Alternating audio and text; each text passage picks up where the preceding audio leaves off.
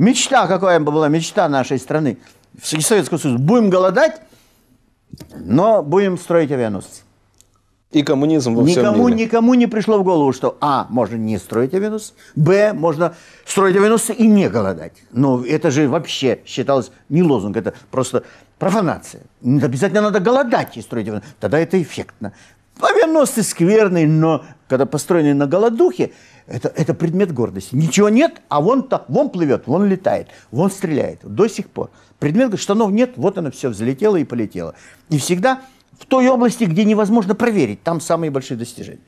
Поэтому вот, вот эта чернота, которая бродит, бродит, отсюда поиски величия, желание, чтобы обязательно это была великая страна. И это народное ощущение. Это, к сожалению, народное ощущение. Михалыч, поверь мне, говорит человек, к которому я хорошо отношусь, голодать буду, а страна должна быть великой. Откуда? И он уже столько голодает, ему еще голодать, ну еще голодать. Ну, ну как, как связать его голодовку с тем, чтобы страна должна быть великой? Почему он обязательно должен голодать?